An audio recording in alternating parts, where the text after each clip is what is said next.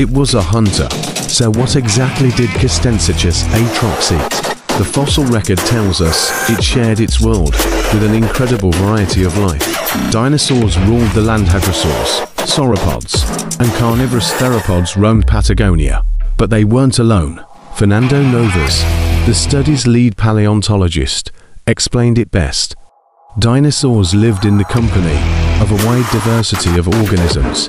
Terrestrial crocodilians were notably diverse and abundant in Cretaceous South America and Africa.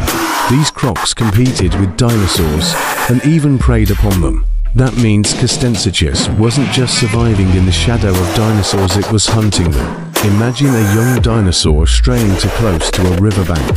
Suddenly, this massive predator lunges forward, clamping down with bone-crushing jaws. For many smaller dinosaurs, the story would end right there. It's easy to forget that crocodiles, as we know them today, are only the survivors of a much larger evolutionary story. Back in the Cretaceous,